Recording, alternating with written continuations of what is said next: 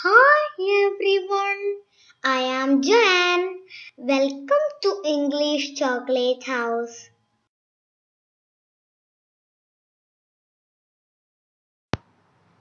The Lost Camel. Once in a dry desert, a man was taking ten camels to a water board. After walking a few miles, he mounted one of the camel and counted the remaining camels.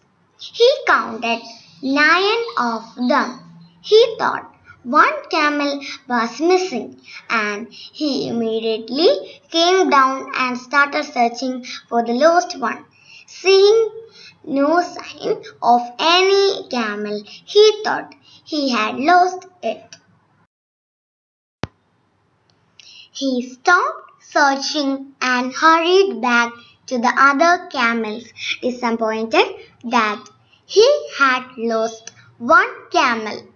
When he reached back, he found all ten camels.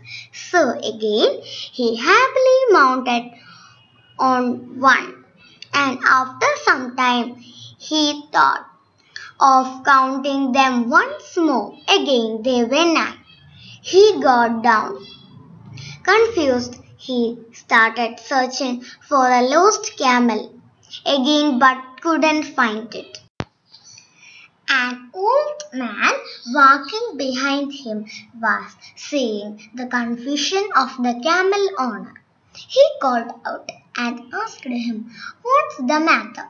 The man explained that as soon as he would mount a camel, one of the camels would disappear. The old man advised him to mount a camel and said that he would do the counting for the camel owner. At first, the camel owner did not want the old man to come in his matter, but later he thought, what is the harm if I find all my camels? And so he agreed. He mounted one camel and the old man counted all ten camels. He explained to the camel owner that he was not counting the camel on which he mounted and hence one camel was always less. The camel owner realized how silly he had been and thanked the old man for helping him. The moral of the story is always trust the wisdom and experience of the old.